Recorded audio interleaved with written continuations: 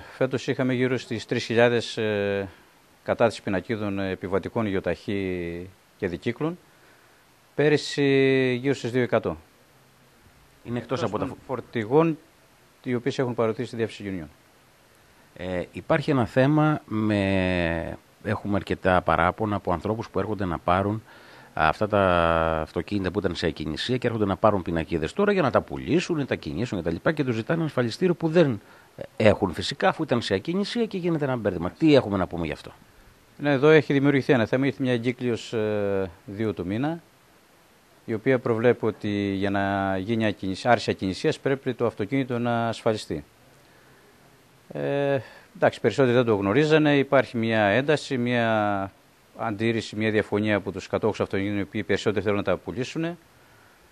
Βέβαια, εντάξει, αυτό από πληροφορίες από επικοινωνία που είχαμε το Υπουργείο κάτω, μας είπαν ότι έστω και ένας μήνας από ό,τι πληροφορούμαστε καλύπτει αυτόν που το ασφαλίζει και αυτόν που το αγοράζει. Νομίζω από ό,τι ξέρω έχει, είναι υπόψη των ασφαλιστικών εταιριών και των αντιπροσωπιών.